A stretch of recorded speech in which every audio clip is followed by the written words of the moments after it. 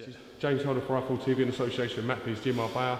With me, I've got Darren McKenna. Firstly, commiserations. Uh, Yeah, really good fight for the neutral to watch. Uh, Yeah. Tough fight must have been being in there. Yeah, it was it was good for the for the first five rounds. We seemed to seemed to take it in turns to work and that, and then I started to gas a little bit. He put his shots together nicely, and fair play to him. Like I said, a better man won on the night, and I couldn't really do much. I had to try and coast through the last few rounds. I've been out of the ring a while, so has he. But um, yeah, it was good. It was, it was good to get the eight rounds under my belt. I, I weren't totally happy with it, and like in the last 30 seconds, I, I, I tried to put a few shots together, but I just didn't have it in the tank to keep that keep that going. Like, so. You've been in, inactive for a little while yourself as well. Must be good just to be getting Yeah. back in and doing what you do, what you love. I weren't really taking it seriously a lot of the time. I was turning up. Uh, I weren't, I weren't training properly, weren't dedicated.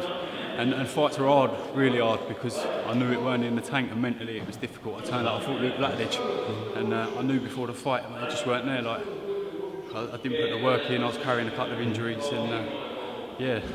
So I started to work hard since Christmas. I ain't, ain't been drinking and training hard, and I thought it might pay off tonight. I thought I had a chance because on paper he ain't he ain't a big puncher, but he put his shots together nice and stunned me a few times. Buzzed the ear in the second round, and yeah, credit to him. I was going to ask you about that. As you said, his record doesn't indicate that he is the biggest puncher, even though he is coming on the back of the TKO win. Yeah. Do you think what, it was his timing of his shots, the way he puts things together? Yeah, he put them together nicely, and he managed to keep out a distance, made me reach him, which I do sometimes, and uh, I, I just couldn't get to him. I caught him with a few shots. I think he respected the power sometimes, but he got the better of a lot of the exchanges. And, I'm not happy with it, but what can I do? I'll give it my best shot, and it wasn't good enough tonight.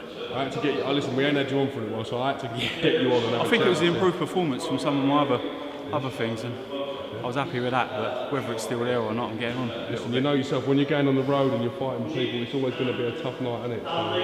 So, well done for taking the Yeah, fight. thanks and a lot. Hopefully, we see you in some big fights in the future, Dale. Yeah, hopefully I can keep it going. I've got one in Bournemouth soon, so see what I can do, mate. Best Thanks. luck, mate. Keep going, mate. and we'll see you Cheers, mate. Nice to see you. Cheers.